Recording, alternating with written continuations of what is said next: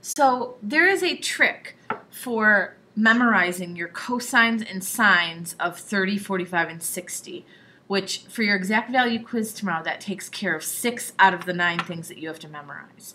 Now, I was going to just show this to you in class tomorrow because we ran out of time yesterday.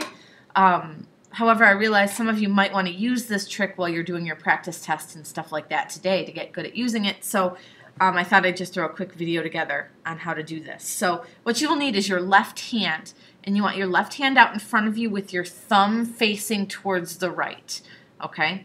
And you'll have to ignore my left hand. My pinky is weird on my left hand, so um, it looks funny. But um, So you want your left hand out in front of you, thumb facing to the right. And so here's what you're really seeing is um, your thumb is like zero degrees and your pinky is like 90 so there's like your right angle, 0 to 90. And then your three fingers are the 30, 45, and 60. Okay? Now, remember on the unit circle that all of the coordinates are cosine, comma, sine. So cosine first, then sine. If you know that, you can remember that cosine is on the left and sine is on the right. I know this sounds complicated, but if you figure out how to use this, it's going to make a lot of sense to you. Um, the other thing you need to know is that really on the unit circle, everything is over 2, and almost everything is a square root of something over 2. So square root of 3 over 2, square root of 2 over 2. The only one that's not like that is 1 half, which is just 1 over 2. But honestly, if you wrote square root of 1 over 2, square root of 1 is just 1, so it wouldn't matter. Okay, you'll see where all this is going, I promise. So let's say you were trying to find cosine of 30. Okay? So, taking a look at your hand, here's your 30 degrees. So I'm going to put that finger down.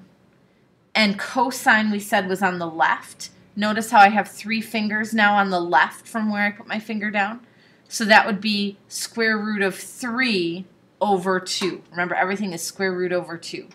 So cosine of 30 is square root of 3 over 2. Okay? Um, let's say you wanted to find sine of 45. Well, here's 45 degrees, okay?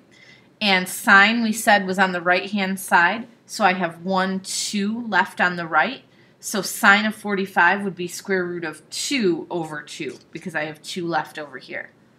Okay? So you can use that um, to find all of those exact values that your quiz is on tomorrow. When I say, you know, cosine 60, okay, you would put this finger down, cosine's on the left, so this would be 1 over 2. Okay?